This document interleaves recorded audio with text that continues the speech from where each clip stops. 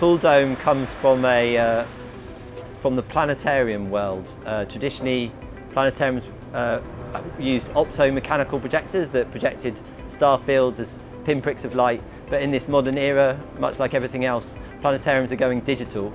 And as planetariums have gone digital, uh, the content that they can play becomes entirely more flexible and there's a small movement around the world of people who are interested in these immersive spaces.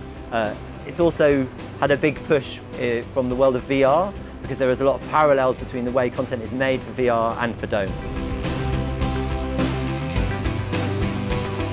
So this dome is uh, an 18 metre geodesic dome um, and one of the things about this dome is it's, it's very strong, uh, it's very rigid, uh, it's a self-supporting structure. It can also, it's load bearing, so we've hung like uh, 1.6 tons of PA directly off the structure in the past. Um, it's, uh, it's really been designed as a touring structure. Um, a lot of domes over about 12 meters, uh, which is you know sort of 35 or 40 foot in diameter, uh, you start needing cranes and other heavy equipment to build it. Whereas one of the main features of this dome was that uh, it can all be built using uh, an access tower. So it, it, it means that uh, we can go to places where you know you, you, don't have access to take cranes on site. So it, it, it, it can basically be put up anywhere in a field or what have you.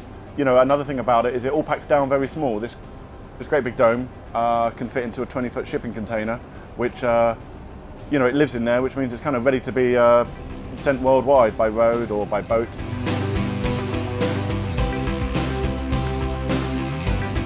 So what we have is six uh, super bright 20,000 lumen Panasonic projectors um, creating a single image coverage over a 180 degree hemispherical screen. We use the Avolites AI media server. We have a custom built rack that we put together specifically for doing dome projects. It's two eight output machines, uh, a main and a spare. We have a, a, matrix and a UPS all in the rack. And then we um, use a camera-based calibration system. So rather than mapping and warping the projectors onto the dome by hand, we use the camera system, which means our setup is super quick. Once everything's, once projectors are on and all, all the connections are made, we can map the dome in about 20 minutes. Doing that by hand used to take more like a day, possibly even two in some cases. So this is a, a huge improvement. And the quality of the blends and the warping that are produced by the camera calibration system are outstanding. It would be impossible by human eye alone. The great thing about the Dome is that it replicates the VR experience that so many of our clients are looking for, but without any of the social restrictions that come with wearing a headset, which effectively acts as a sensory vacuum. Uh, you can experience the Dome with up to a thousand other people if it's a party style event or with deck chairs about 250 and you could enjoy it as part of a larger part of experiential activity.